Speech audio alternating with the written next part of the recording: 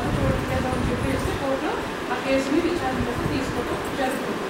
ఈ కాకుండా ఇప్పుడు డీవీసీ నోట్ ఆఫీసీ చెప్పారు సార్ అది కూడా ఏంటంటే ఎవరైనా మహిళలకి భర్త అంటే నిరాదరణ చేసి ఎటువంటి పోషణకు ఇస్తారు తల్లిదండ్రులకు కూడా ఇస్తారు. కొత్త నేను స్త్రీలకు చెప్పేది కనుక ఎవరైనా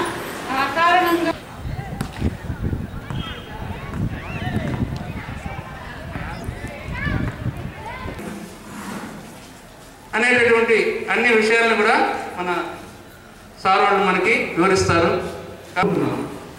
దాన్ని కూడా ఒక విధంగా విజ్ఞానం అన్నమాట. అదేవిధంగా చట్టాల గురించి తెలుసుకునే సదార్థి వారి యొక్క ఆదేశాల మేరకు ప్రతి గ్రామంలో దృష్టిలో పెట్టుకోకపోతే చిన్న చిన్న తప్పిదాలు కూడా పెద్ద పెద్ద ప్రతిఫలం మనం నష్టం జరిగేటప్పుడు చేయొద్దండి పర్లేదు మీరు మీరు చేయకపోతే నేనే చూస్- లే చూపిస్తాను ఫస్ట్ ఒక ఆయనకి ముప్పై ఐదు చెప్తుంది ఏది కాన్స్టిట్యూషన్ చెప్తుంది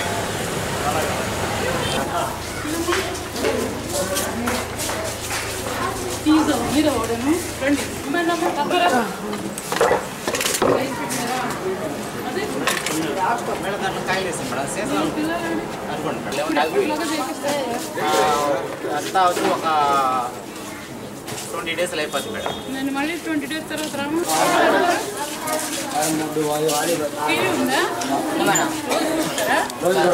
ఈ రోజు మేము ఇక్కడ వచ్చడానికి ముఖ్య ఉద్దేశం మహిళలకు సంబంధించిన కొన్ని చట్టాలని ఇక్కడ చెప్పడానికి వచ్చాం. అయితే మహిళలు అనేసరికి మనకి సాధారణంగా ఏమవుతుందంటే జన్ రాజ్యాంగం అనేసరికి స్త్రీ పురుషులు ఇద్దరు సమాన హక్కులే కలిగి ఉన్నారనేది అనుకున్నప్పటికీ కూడా స్త్రీకి ఉన్న సమస్యల పరంగా స్త్రీలకే ఎక్కువగా చట్టాలు కూడా కొన్ని చేయబడడం జరిగింది.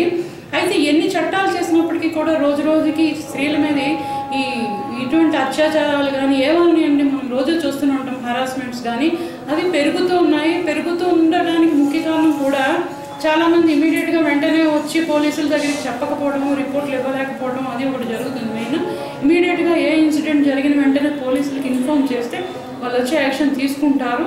సో చాలా వరకు అవి మనము నాలుగు గోడల మధ్యలో ఉంచుకోవడానికి చాలామంది ప్రయత్నిస్తారు. అలాంటివి చేయకుండా పబ్లిక్కి వచ్చి చెప్పితే అంటే ఐ మీన్ పోలీసులకు వచ్చి చెప్పితే రేపు ఫర్దర్ ఇంకెందుకంటే ఇలాంటి వాటిలోనే యాక్షన్ తీసుకుంటారనే భయం ఉంటుంది కనుక ఇంకా ఫ్యూచర్లో ఎవరు ఇలాంటి తప్పులు చేయకుండా ఉండడం జరుగుతుంది.